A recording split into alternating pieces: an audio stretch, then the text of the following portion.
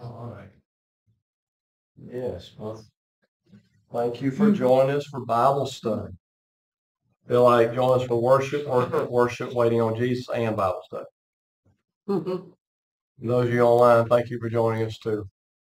Yeah, so praise God. We're going to jump back into the Word. We're in Acts chapter 9. We're going to look verses 1 through 21. And I talked about the first several verses of Acts chapter 9 last week. But for, for the, the, the, context and the picture, we need to go back to verse 1. But just kind of a quick, uh, just a quick catch-up moment. Remember Acts chapter 8 was whenever Stephen was arrested and put on trial. And then we go through Acts chapter 8. Stephen, of course, he testifies. He recounts a lot of the Jewish history, you know, the travels of the Hebrews and a lot of their history. And then, of course, uh, you can tell there's a, a turmoil right about, I'd say, three quarters through Acts chapter 8. There's a kind of a, you can tell because Stephen transitions from a nice uh, storytelling moment of their history to you stiff-necked and hard-hearted people. So you can tell there was basically they were it, it seemed like there was something going on. They were either ignoring Stephen or they were having some kind of a dialogue or dispute on the council, and they were more or less just kind of shutting him out, and more he was just kind of standing there because he sensed that they really were ignoring him, didn't paying attention to him, and didn't really care about what he was saying. Mm-hmm. And he says, "You stiff-necked people, you act just like your fathers did whenever they killed the prophets." And then he says, and, and, he, and I like it, this is kind of a, a paraphrase thing at the end. He says, and you went a step further and you killed the promised Messiah too. So you didn't just do what your fathers did, you killed the Messiah too. And uh, it says whenever he's talking, he was speaking with such anointing from the Holy Spirit. It says that they started, it means they actually started yelling and, and gnashing their teeth and they were just yelling and covered their ears because they didn't want to hear it anymore. They couldn't, they couldn't handle the anointing. They couldn't handle the presence. And uh, people will run from the anointing. People do two things with anointing. They run to it and they run from it. They will. They'll do that. I've seen them do both. I've seen people run to the anointing and I've seen people run from the anointing. I've had people run from me, physically run from me because they felt God's presence. Mm. I was talking with a, a lady one time. I was inter- helping, Lord gave me an interpretation for a dream she was having when I was in the military. And I'm sitting there sharing this interpretation with her. And there's a guy sitting on the other side. We're at a little local laundromat on base. And there's a guy sitting in a chair over here. And as I'm talking about God, the room filled with his presence, the guy sitting there and, and the legs going just rattling. He's sitting there shaking in the chair. And I just thought I said, I said and I'm sharing, she could feel God's presence. I said, see him? And he's just sitting over like this number, just trying to listen, but he don't know what's going on. I said, Holy Spirit's touching him too. And when I didn't point at him, he jumped and he ran. He took off out the door. But I've had other people run from me before too. And it's they're running from Jesus, not me, but just the anointing. And I've had other people like, man, I just want to hang around you. I don't know why. They're running to the anointing. Isn't that great? But that just shows you how powerful Jesus is. His presence, it commands something. Mm. You know, there is no plan B with Jesus. You're either in or you ain't. And the, the anointing is like that. You either receive or you don't. And that's huge. And I, gosh, I could keep, we could just go right here and then. But anyway, I won't go too far with this. But I want to say that I've had people before that God has given me a prophetic word for them or God had something specific he wanted to do in their life and, and they were not open to receive it. I was actually manning a table at a, at a conference one time and this lady was walking up and Lord started giving me a download, a prophetic download that was very detailed for her. And and thing is I was like, okay, she walked up to the table. When she got to the table, I said, I have something to share with you. Is it okay? And she said, uh, I said, I feel like God gave me something to share with you to encourage you. And she said, and she said, okay. But when she said it, Mm-hmm. Holy Spirit backed off. She quenched him. She said, okay, but she was not open to receive. Mm-hmm. And the Holy Spirit just backed off and said, no. Mm-hmm. And I've had some people that were involved in cult groups who knew I was a man of God and wanted me to pray for them because they had to have life decisions and they wanted to hear from God. And these were this was actually a leader in a major church group that's not a not a not a Jesus focused group. And he really respected me and wanted me to pray when I prayed with him. And uh, you know what Lord said? Lord said, I'm not telling him anything right now.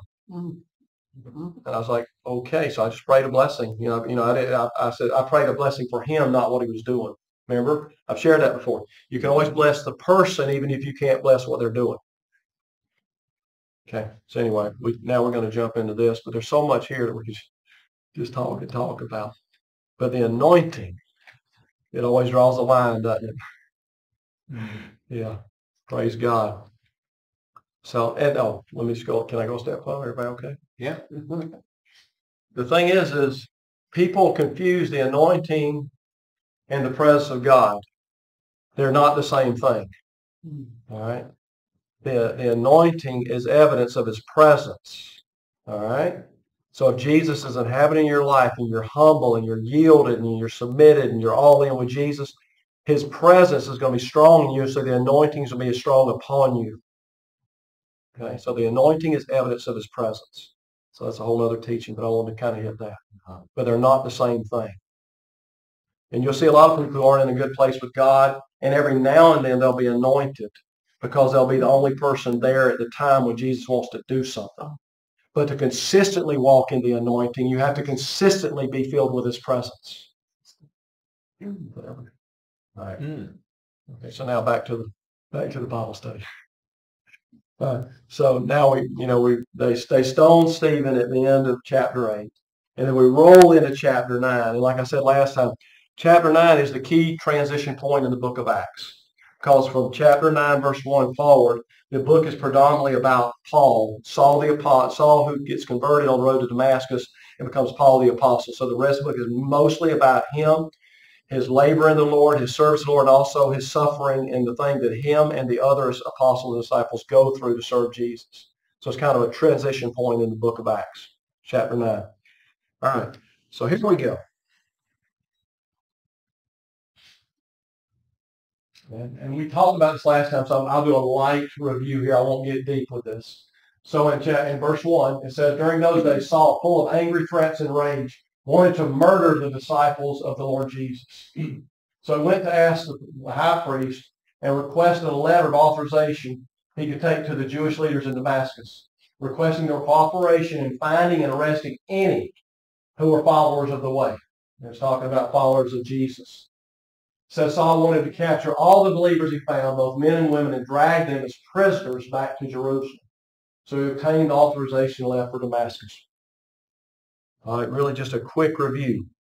Remember, Saul was standing there in Acts chapter 7, 58, and he was holding the coats of those who were about to stone Stephen. Remember, he guarded their garments. Uh, he was all in. He hated the Christians. He hated that new movement. You know, and once again, you know, he was trained at Gamaliel's feet. So he was trained by one of the most well-known, most well-respected Jewish theologians of the day. But there was a there's a thread here. Gosh, there's so much in this. There's a thread that's beautiful. Gamaliel's dad was Simon. His father was Simon, who was waiting at the temple to see the Lord's promised Messiah before he passed. Remember, I told him that. So Simon, who was waiting there whenever they did, brought, Jesus and dedicated him, he was waiting there because the Lord said, "Today you'll see the Messiah that I promised." And then he, he blessed the baby Jesus. And he said, "Now I can die in peace, for I've seen Israel's salvation." Remember that? That was Gamaliel's father. And so think about the house Gamaliel was raised in with a man who worshiped and loved God that much. And then Gamaliel was teaching Saul. So there was a thread in there, I believe, that was in Saul that was the birth of the passion, I think, was in his lineage, and it came from grandfather to father to son. I really believe that.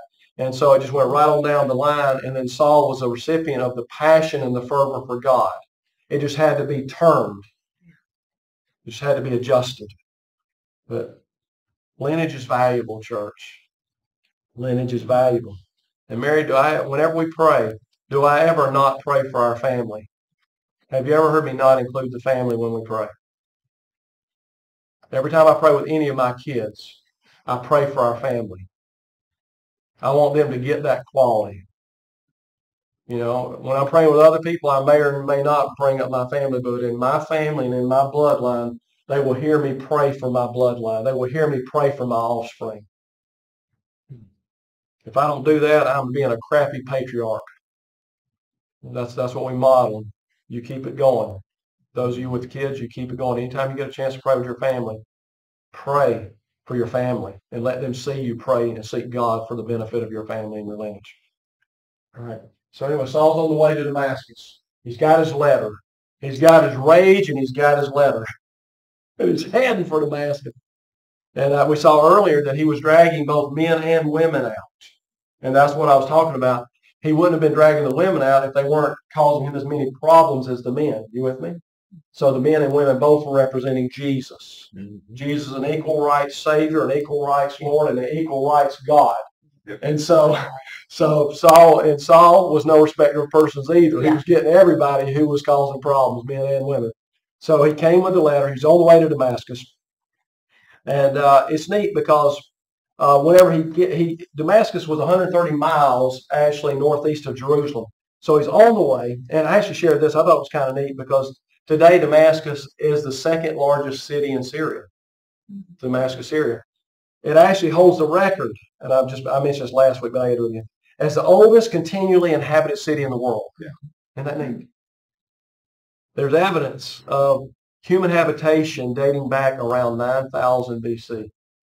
Isn't that interesting? Mm, Yeah. But it says basically there was a lot of little groups and tribes, but they merged about 2000 BC. That's when they all merged together and formed the, the official city of Damascus.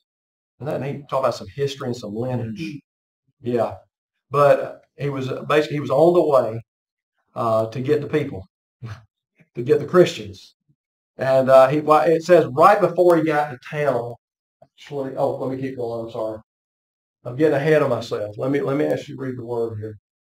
Just outside the city, and I think it's right right as he was getting. I, I my opinion here. Okay, this is Dana's opinion.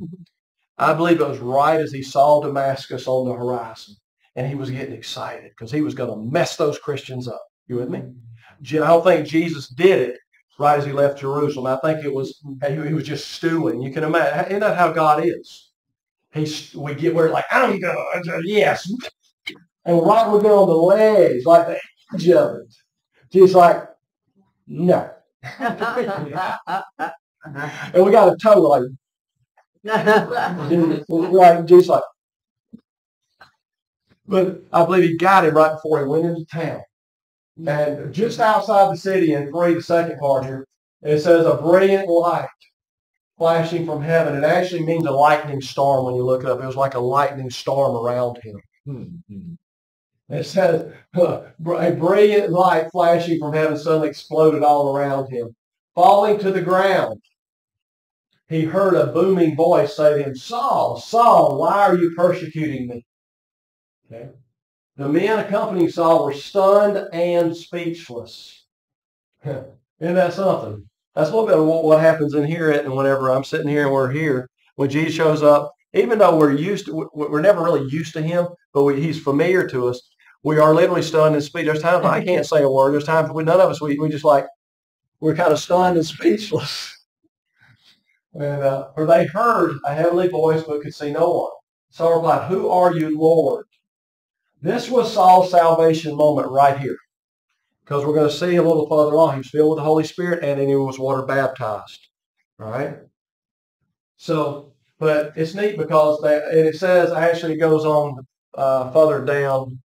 See, I'm, I'm not going to talk about all this too much, but it's, uh, I don't even have it in my notes, but I think it's it's later in the book of Acts that Paul actually is recounting. He's standing before for uh, King Agrippa, and he's recounting what happened. He said, "You know, King Agrippa, I was on the way to Damascus with letters." and said, all of a sudden, this this lightning storm happened around me, and so he said, all of us hit the dirt. So his entire company and traveling companions, when the Lord showed up, they all hit the ground. And I talked about that last night. I call it carpet time. People call it slaying in the spirit. You're not dying in the spirit.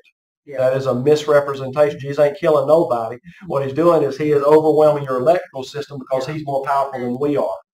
Yep. And your electric system goes, I'm done. And then you, you do carpet time. yeah. And I, and I mentioned lots of references to that last week. There's lots of examples of people falling out under the power of God in the Bible.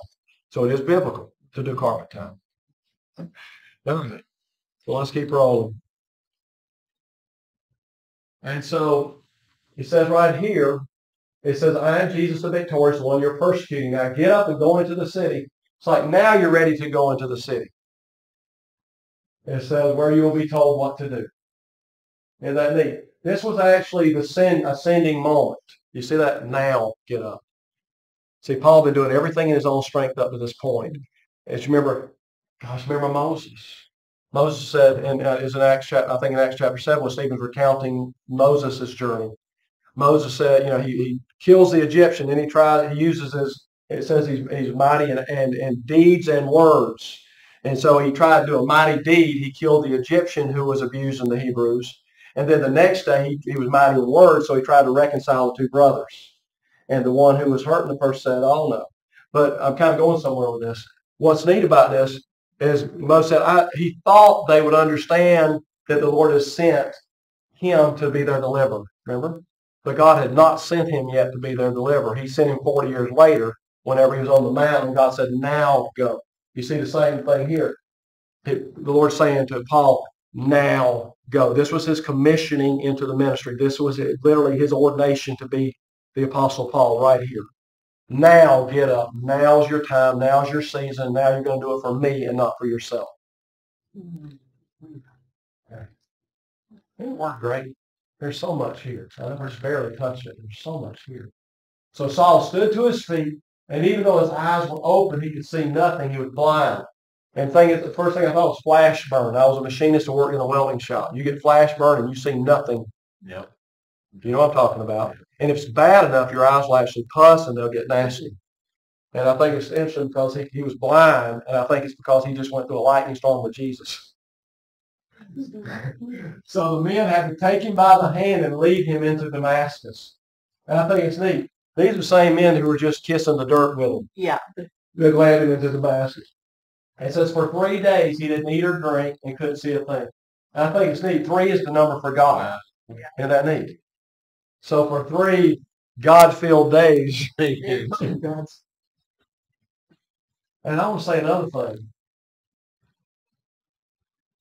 My heart aches for Paul because can you imagine those three days of him realizing what he did to believers? I really think those three days of him not being able to see in the natural, the Lord was giving him time to chew on his old life and to chew on his old actions and to and to and to really fully embrace his new journey. Isn't that something? Review time. Yeah, that's right, Brent. Review. Yeah. It says in verse 10, 11, it says, living in Damascus was a believer named Ananias. The Lord spoke to him in a vision, called his name, Ananias. Yes, Lord, Ananias. The Lord said, go at once to the street called Abundance. I love this translation. Go to the street called Abundance. How many of you like live on the street called Abundance? yeah, that's good. And it says, and look for a man, so I was starting to dream a little bit. I got distracted. I was I was going into abundance. And look for a man from Tarsus named Saul. You'll find him at Judah's house. While he was praying, he saw a supernatural vision of a man named Ananias coming to lay hands upon him to restore his sight. Isn't this amazing? And I think it's neat because Ananias, I love that. I got all off my notes, which is fine. But Ananias actually means the Lord's gracious gift. And that neat. Paul spent three days in review of his brutal previous years towards the believers. And then he, he, he he's reviewing this and he can't see. And, he, and he's had a, a, like a serious encounter with Jesus. And here comes the Lord's gracious gift to healing. Hmm. Church, God really is in control. It's no accident that Ananias, you know, the, the Lord gracious gift happens to be the name of the guy who comes in to lay hands on Paul. So he receives a gracious gift and is healed. I laugh a lot of times at just how much God is in control and how little we believe it. Quite. Yeah. Oh, we think, oh, the world's coming apart. You're just fine, church. And you're better than fine. Ain't nothing going to mess you up or take you out that Jesus doesn't sin. All right? Or allow. You're fine. You know, if we get this right now, we'd be a whole lot happier, wouldn't we? Just as one thing. Quit freaking out and enjoy more. Uh, let's keep going. Don't stop. It's good having you guys here. I'm, I like looking down and seeing my mm-hmm. daughter here and son-in-law. I mean, I like everybody, but it's special having these mm-hmm. guys here. I don't see them oh. often enough. Yours today, Bruce. But I love you too, Grant. Not the same. Well, let's move on. Mm-hmm. Oh, praise God. And I'll say something really your supernatural vision. Um, we talk, I, we do prophecy training here pretty much every year and all. But when you, a vision is a movie trailer. I'm just recounting that. It's just a movie trailer. You know, whenever you want to see a movie, you get a clip of it. And that way you see what, see what it's about and see a little bit about the story and see all that. That's what a vision is. A vision is just a God-given movie trailer. And this was a, probably a waking vision. But guess what? You know what a dream at night is? A sleeping vision. There's no difference. A dream is a sleeping vision. A, a daytime thing is a waking vision. They're both the same thing. There's movie trailers, and God just chooses whether to give to you when you sleep or when you're awake. A lot of times He gives it to us in our sleep because during the day, this is too busy for Him to get through. Mm-hmm. So He waits till we shut down enough and then says, now I can slide that revelation in. Good.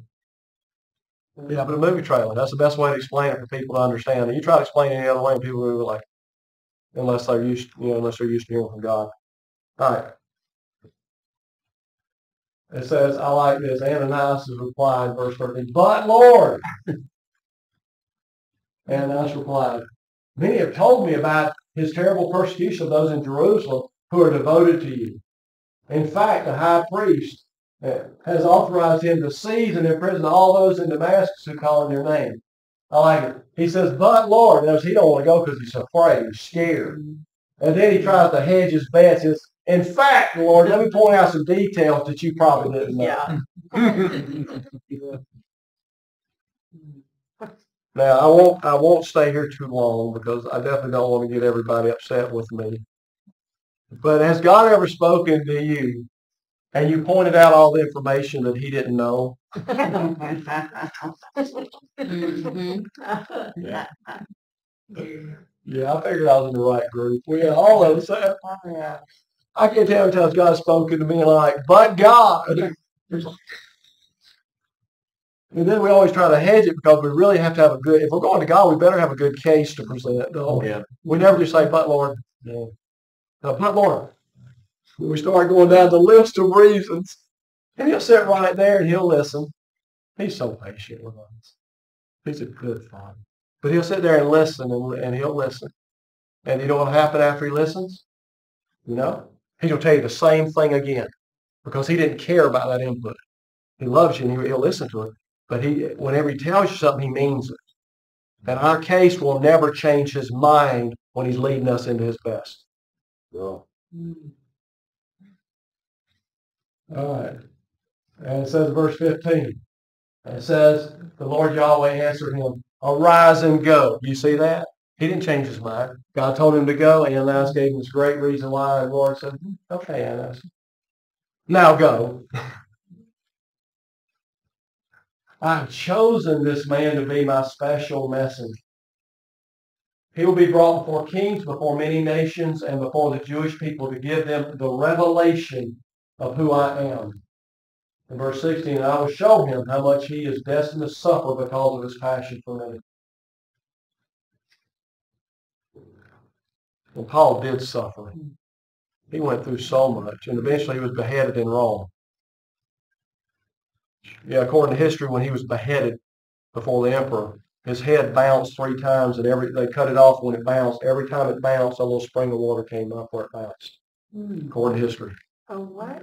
a spring of water, just a little bit of spring kind of started squirting right as how his head fell off his body. It was like toom, toom, toom, and they said three little springs came up where his head bounced. It's according to history. And that's something. But he was eventually martyred. He was eventually killed. Um, he was stoned to death one time and the disciples gathered around him and prayed and he was resurrected back to life. That's in the scripture. Um, and, and he, he went, you know, he shipwrecked, floating around in the Mediterranean. Uh, he went through all kind of mess, bit by the snake, of course. That's a great teaching in itself when he was helping them gather firewood on Patmos and uh, the snake bit him.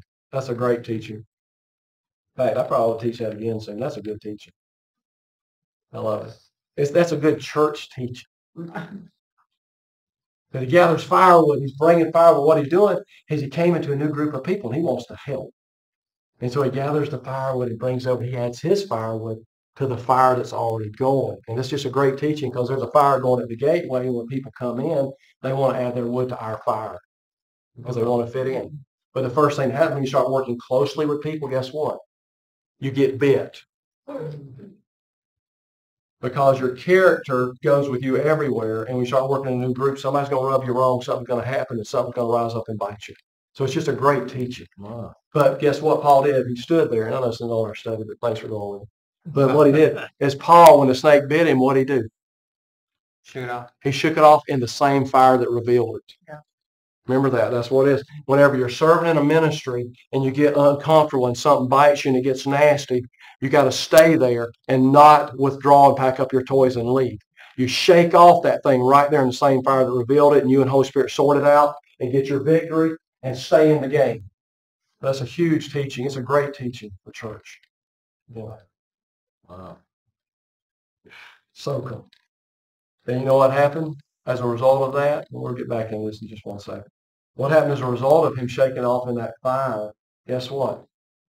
The people around him watched him. Yeah. They said they thought he was going to swell up and die or something bad was going to happen to him.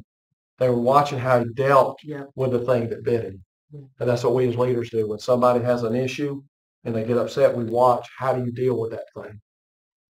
That's just a, a neat leadership thing. But whenever Paul dealt with it the right way, what happened? Everybody around him Yeah. respected and honored him, and he was able to minister to more and more people on that island Mhm. because he stayed there and dealt with it the right way. It's beautiful. Yeah. Thanks for going down the rabbit trail with me for a second. Mhm. That was a really good teaching for leadership, though. Really good. All right, but he was a special messenger. That actually means a hand-selected messenger. God hand-picked Paul. All right, let's keep going. We pick up the pace a little bit. Got just a few more verses. And every time we get in this, man, it's like a buffet. There's so much in the scripture. It's like a truckload. It's awesome. So Ananias left and found the house where Saul was staying. He went inside and laid his hands on him, saying, Saul, my brother. You see there? My brother. Saul's salvation moment was on the road whenever he met the Lord. Said, My brother, Lord Jesus, who appeared to you on the road, has sent me to pray for you so that you might see again and be filled to overflowing with the Holy Spirit. He, wa- he said, He sent me, my brother Saul. Number one, so you can be healed and also so you can be baptized in the Holy Spirit. And then right after that, we see him water baptized. But isn't that the model? We talked about it. Jesus went down in the River Jordan to John. And we and there's so much in that too. But uh, gosh, we see the, the, the, the process, the step-by-step process. Water baptism. Baptism in the Holy Spirit. Basically, Jesus was birthed of the Holy Spirit in Mary's womb. So he was born of God, just like we are. Then he went and got water baptized, salvation, water baptism. He raised up baptism in the Holy Spirit. Ministry begins, effectiveness increases. Same thing here with Paul. All right. So any doubt was gone. What's that? The doubt was gone between verse 16 and 17. Yes. It was totally gone. That's good. Yes. That's good. He wouldn't have hmm. called him that if there was any doubt. Yeah, yeah, and you're right. So a lot happened whenever between Ananias saying, well, but Lord, Yeah. and Lord speaking to him. But isn't that, isn't that the word of the Lord though? Have you ever had God just speak to you and give you one sentence or one Yes. phrase and change your entire life? Yeah. And Like Isaiah said, my word is not void. Yeah. It will accomplish what I send it to do. Mm-hmm. His word just obliterates doubts and concerns. That's good, Brent. Thanks for pointing that out. Mm-hmm. Okay, so it says all at once, verse 18, all at once, the crusty substance that was over Saul's eyes disappeared and he could see perfectly.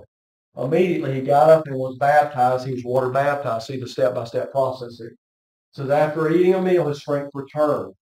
He'd been fasting for three days. He'd been, I guarantee he had been stressed out for three days. Mhm. I can't imagine what was going on in his mind and his soul. I mean, me and you've never, and Paul had killed people at this point. You know he had. Yeah. I mean, you know, it, it isn't polite dragging people off and throwing them in the prison. Somebody died along the way, I'm sure.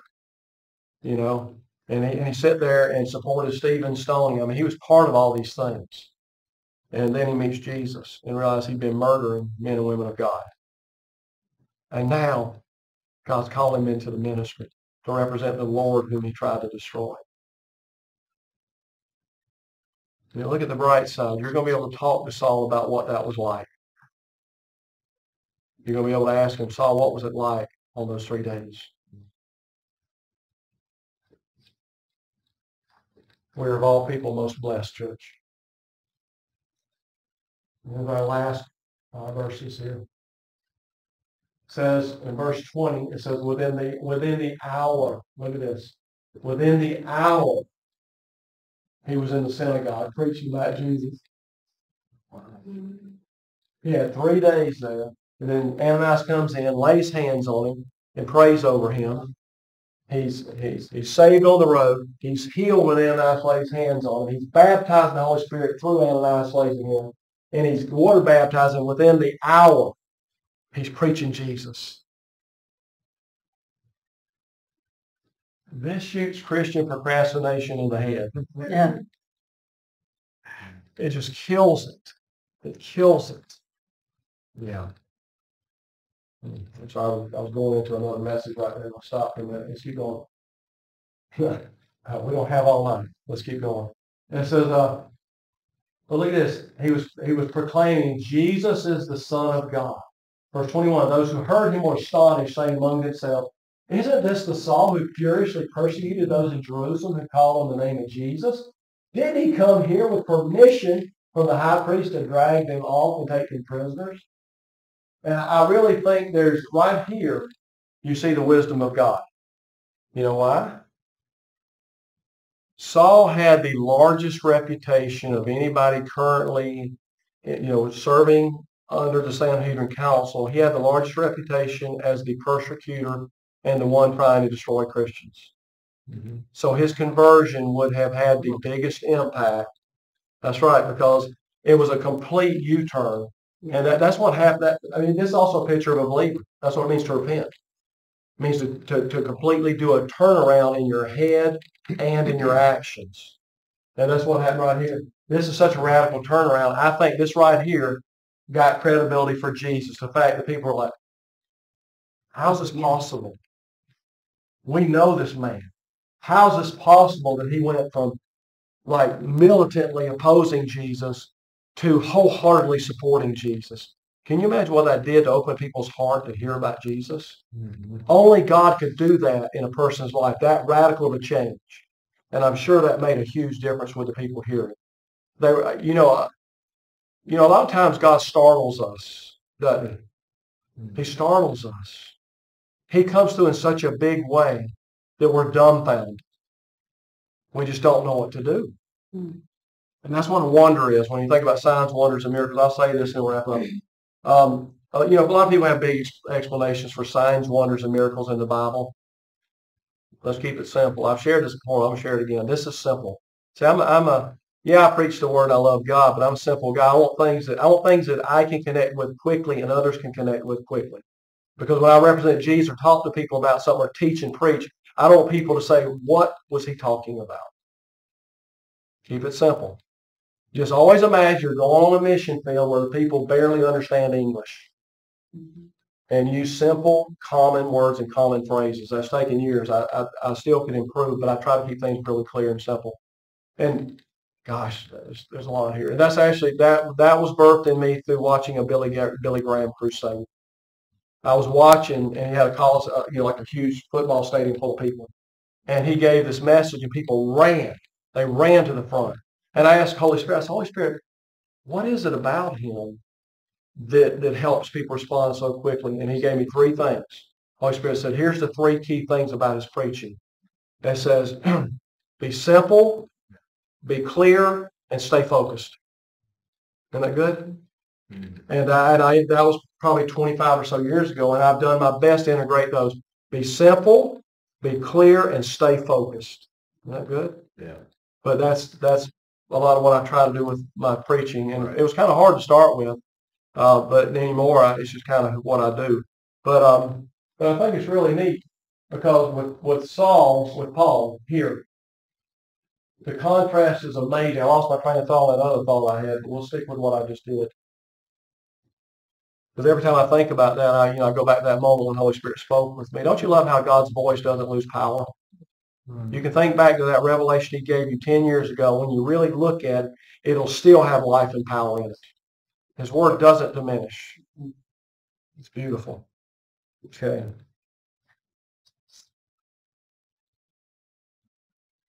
I've gotten way off my notes, which is not unusual.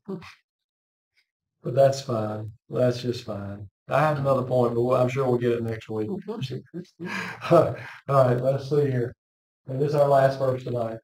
Look at Saul's power increased greatly. You see that? As he became more and more proficient in proving that Jesus was the anointed Messiah. Saul remained there for several days with the disciples, even though it agitated the Jews, four Jews. Hmm. Their hero got converted.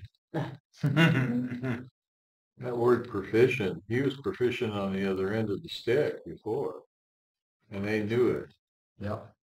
And think about as the relationship and revelation poured in, and, and, and as Holy Spirit started connecting the dots between all the prophets. See, like remember, he was trained at Gamaliel's feet, so he knew the word. Yeah. He had memorized at least the first five books of the Bible. He knew the word. He had knew the word. And and imagine whenever the Holy Spirit started saying, "Remember this? Uh, Jesus did that. Jesus fulfilled this. Jesus is the expression of that. This was Jesus in the wilderness. This was Jesus here. This was Jesus. This was Jesus. So that's what it means by proficient.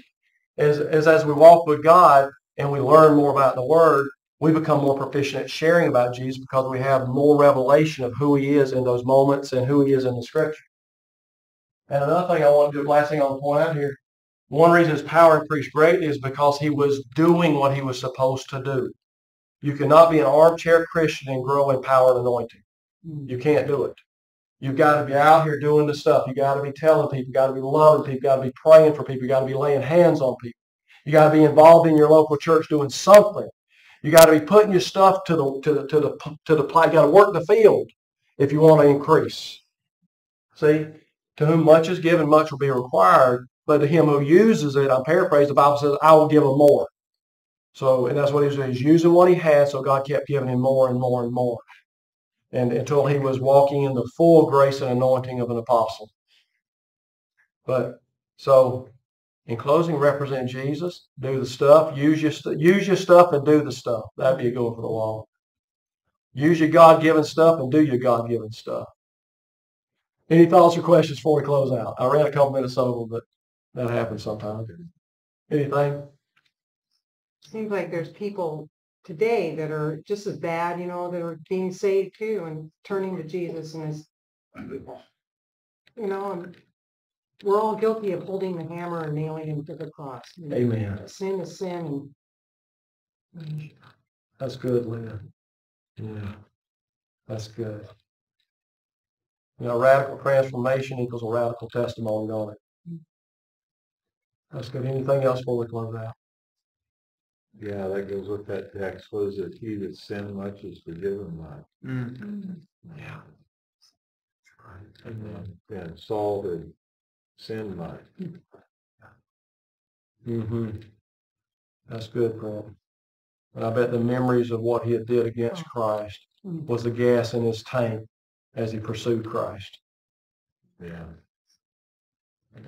Anybody else? Yes, Joanne? Would you give the definition of anointing? Okay, anointing is, uh, okay, here's kind of a, once again, I, I, you know, this, I'll just share my perspective on, okay, this might not, you know, be the, the exact wording, but it will be accurate. To me, the anointing is God's power that, that is upon someone and flows through someone to do what cannot naturally be done. Okay? It's the power to exceed the natural limitations upon a believer's life. Does that help? Yes. Okay. Mm-hmm. Anything else? Anybody got anything else?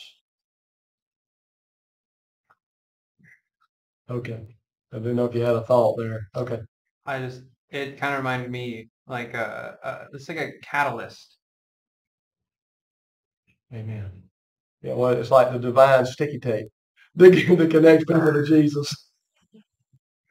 Oh, yeah. One last thought really quick on laying on of hands. You know, when Ananias went to him, he didn't just pray and he didn't just speak. He laid hands and touched. And we've talked about that a lot around here. And I've demonstrated laying on of hands and not saying a word and people got their breakthrough and got their things. I love when I teach laying on hands. I'll go up to somebody and lay hands and I won't say a word. And I'll see what God shows and I'll speak to that and I'll say, what happened? You can demonstrate it. What happened? You know, I did it with Sister, my Sister Mary, the worship leader, not daughter Mary, sister. And, uh, no, I did it and, and, uh, Mary didn't know it and she, she was actually having a lot of anxiety and stuff going on. And I saw it through discernment and I spoke and I sit there and saw a little boat in her abdomen.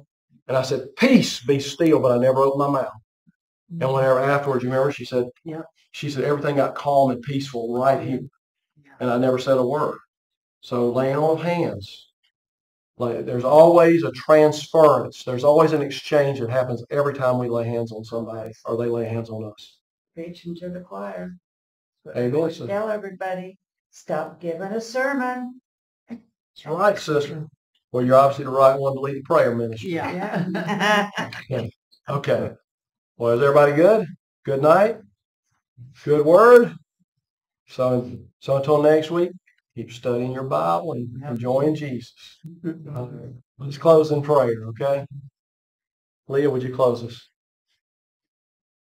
Father God, thank you for this time and thank you for your word and thank you, Jesus, Yes, for your presence and Holy Spirit. And bless each one here, Father. You know, meet us right where we are with what we need. And thank you that you love us so much. We pray for blessings upon people who are suffering out there. God, give us an opportunity to meet the challenge that whatever you have for us and use us as your vessel. And, and God, we pray this in your precious son's name.